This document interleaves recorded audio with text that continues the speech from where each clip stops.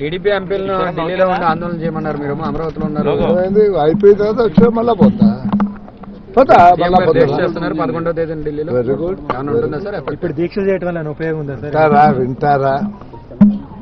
ఇవన్నీ మా డిమాండ్స్ ఇవేని ప్రజలకు దేశ ప్రజలకు చెప్పడానికి కానీ. ఈ నోస్ ఇట్ ఫలితం ఉండదు అని తెలుసు. శ్రీకృష్ణుడు తెలియదా? యుద్ధం జరుగుతుందని ఏమన్నాడు?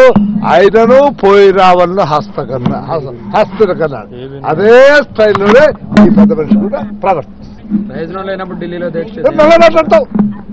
శ్రీకృష్ణ భగవాడు తెలియదేవా యుద్ధం జరుగుతుందనేది ఎవరాడైనా అయినను పోయి రావను ఇది కూడా అంతేనమ్మా. ఈ పెద్ద మనిషికి అన్నీ తెలుసు.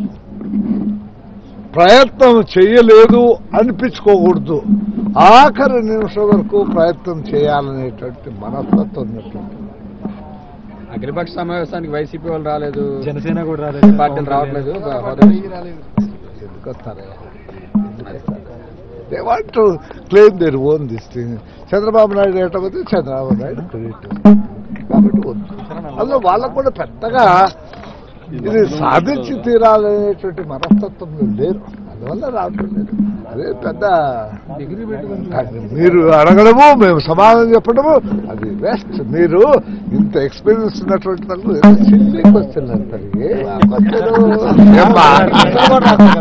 బహిరంగ లేఖ రాశాడు సార్. మొక్కుబడి సమావేశాలకు ఏంటి. అదే రాజకీయాల్లో ఒక భాగం. ఉంటారు రెడీగా రాసే వాళ్ళు ఉంటారు అడిగే వాళ్ళు ఉంటారు చెప్పేవాళ్ళు ఉంటారు. కాబట్టి మీకు అన్నీ తెలుసు. మమ్మల్ని వచ్చినోడిని ఉన్న అమాయకుడు చేయాలనేటువంటి ఒక ప్రయత్నం చేస్తారు ఈ టీవీ వాళ్ళు అంతే. పవన్ కలిసిపోతున్నాడు మాలోనని చెప్పి మీ పార్టీ నేతలు చెప్తున్నారు సార్. ఇప్పుడు మా పార్టీ నేతలు ఏం చెప్తారో నాకు తెలియదు ఎవరెవరికి ఏమేమి ఇన్ఫర్మేషన్ నాకు తెలియదు కానీ నేను ఇంత ముందే చెప్పాను అందరికంటే ముందు చెప్పాను రాజకీయాల్లో ఎవడు పర్మనెంట్ ఎన్ని కాదు పర్మనెంట్ మిత్రుడు అవసరాలు బట్టి అట్మాస్ఫియర్ బట్టి మారుతూ ఉంటాయి ఈక్వేషన్స్ ఎలక్షన్ డేట్ ఎప్పుడో నాకు తెలియదు నామినేషన్ డేట్ వరకు అన్నీ జరుగుతుంటాయి తమ్ముడు? అవకాశం ఉందన్నమాట. ఇప్పుడు ఎవరు కలిసినా ఆహ్వానించడం మా డ్యూటీ. మేము ఆహ్వానిస్తాం అంతే. సార్ పదకొండున సీఎం గారు ఢిల్లీ వెళ్తున్నారు. పదినోమో మోడీ వస్తున్నారు రాష్ట్రానికి. వెరీ గుడ్ రావాల్సిందే మోడీ. మోడీ. మోడీ మోడీ రావాల్సిందే ముఖ్యమంత్రి గారు ఢిల్లీ చూడాల్సిందే. దాంట్లో ఏ పెద్ద విశ్లేషణ ఏముంది? ఎవరి కోసం తిరుగుతారు?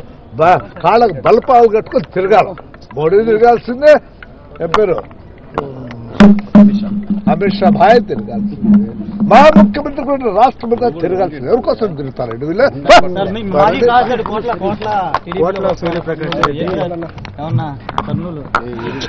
ఏముందయ్యా ఏముందయ్యా?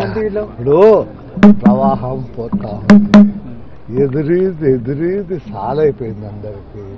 ఆ ప్రవాహంలో మనము ప్రాణం సాగిస్తామనేటువంటిది ఇవాళ ఉన్నటువంటి రాజకీయ నాయకుల యొక్క ఉద్దేశం.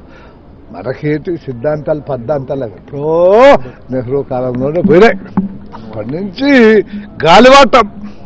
చలో. కేంద్ర బడ్జెట్ పెడుతున్నారు కదా రేపు మీ యాక్షన్ ఎలా పోయా మా యాక్షన్ ఏంది? బోర్డు యాక్షన్ చదువుకునేది ప్లేస్ వచ్చేది మేము ముర్దాబాద్ అంటే వాళ్ళు జిందాబాద్ అంటారు.